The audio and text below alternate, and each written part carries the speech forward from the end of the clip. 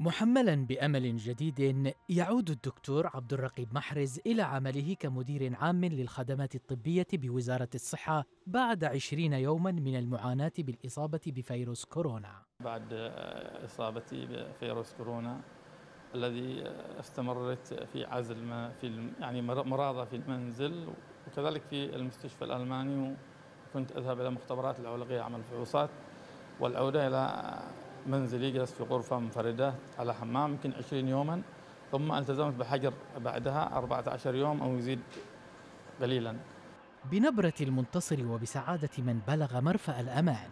يروي محرز لقناة بلقيس تجربته مع الوباء الذي اجتاح العالم منذ إصابته في مدينة عدن وصولا إلى شفائه. ومعه يبعث رسالة للمواطنين بضرورة الامتثال للإجراءات الوقائية وتقوية مناعتهم تفاديا للإصابة بالفيروس.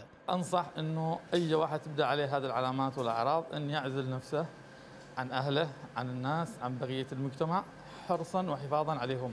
يعد محرز واحدا من عشرات الكوادر الطبية التي أصيبت بفيروس كورونا في العاصمة المؤقتة عدن حيث تعاني المدينة منذ عدة أشهر من انهيار القطاع الطبي وضعف تطبيق الإجراءات الاحترازية للوقاية من تفشي الحميات المختلفة التي ضربت المدينة منذ مطلع العام الحالي مع تراجع أغلب الخدمات فيها.